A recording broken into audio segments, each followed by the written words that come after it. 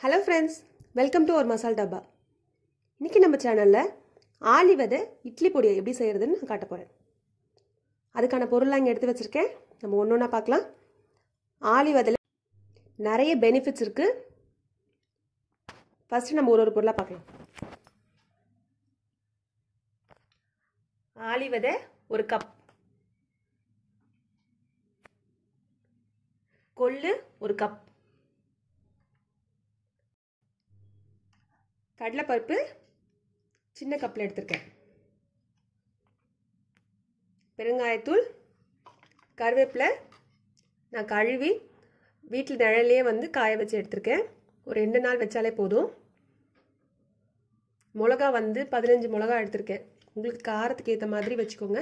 நான் நீட்டு மிளகாவும் குண்டு மிளகா ரெண்டுமே சேர்த்து வச்சுருக்கேன். கொஞ்சம் காரமாக இருக்கும் குண்டு மிளகான்றதுக்காக. கொஞ்சம் சீரகம் கொஞ்சம் மிளகு உளுந்து. அவ்வளோதாங்க இப்போ நம்ம எப்படி அரைக்கிறதுன்னு பார்க்கலாம்.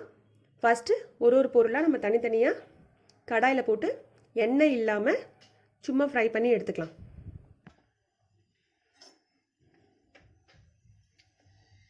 கடாய் வச்சுருக்கேன். அது சூடாக இருக்குது ஆலி விதையை ஃபஸ்ட்டு நம்ம போட்டுக்கலாம். ரொம்ப கருக வெட்டுறாமல் கொஞ்சம் லைட்டாக கலர் மாறும் போதே உங்களுக்கு தெரியும். அப்போ எடுத்துடலாம். கொஞ்சம் சிம்பிளாக வச்சுக்கோங்க.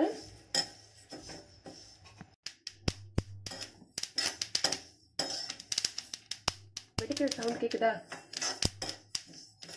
நல்லா வெடிக்குது பாருங்கள் நல்லா சூடாக இருக்குது ஆளி விதை ரொம்ப ஹீட்டு ஆனால் சாப்பிட்டா ரொம்ப நல்லது. டெய்லி அட்லீஸ்ட் ஒரு ஸ்பூன் இல்லை ரெண்டு ஸ்பூன் தான் நம்ம எடுத்துக்க போகிறோம் இட்லி பொடியில். அது ரொம்ப ரொம்ப நல்லது.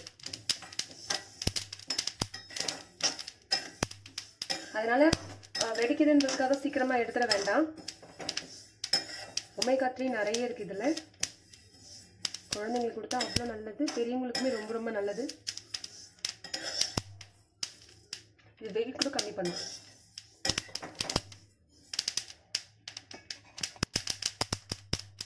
போதும் நம்ம எடுத்துடலாம். மாதிரி அகலமான பெரிய தட்டில் வந்து இந்த மாதிரி கொட்டிடுங்க. அப்போ தான் சீக்கிரம் ஆறும். ஒரு ஒரு பொருளையும் நம்ம எல்லாத்தையும் ஃப்ரை பண்ணிவிட்டு இதிலே போட்டுக்கலாம் மொத்தமாக நம்ம கொள்ளு சேர்த்துக்கலாம்.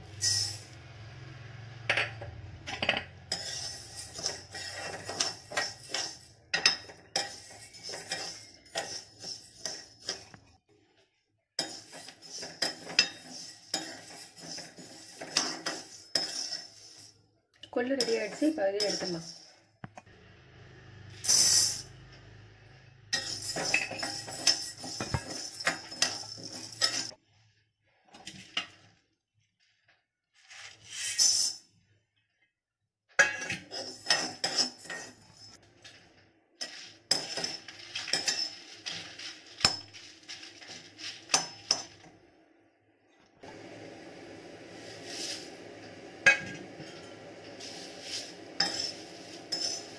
கருவேப்பிலை நல்லா ஏற்கனவே காஞ்சிருக்கு.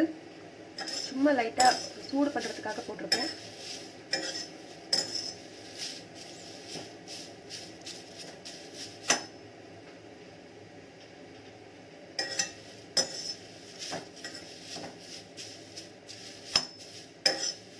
போதும் எடுத்துடலாம்.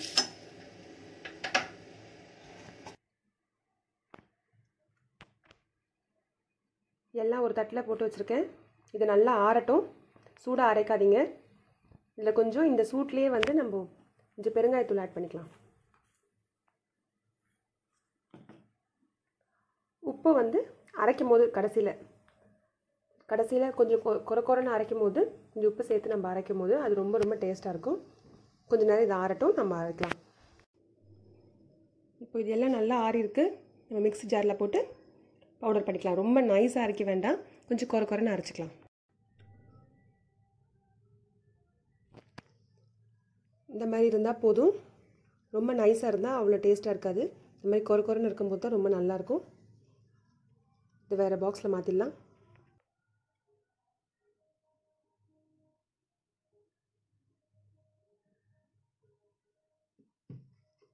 அவ்வளோதாங்க நம்ம இட்லி பொடி ரெடி ஆகிருக்கு ஆலி விதை கொள்ளு இட்லி பொடி ரொம்ப ரொம்ப ரொம்ப ஹெல்த்தியானது நீங்கள் இதை ட்ரை பண்ணிவிட்டு எப்படி இருந்துச்சுன்னு கமெண்ட்டில் சொல்லுங்கள் இல்லை நான் நல்லெண்ணெய் ஊற்றிருக்கேன் உங்களுக்கு எந்த எண்ணெய் வேணும்னா நீங்கள் ஊற்றிக்கலாம்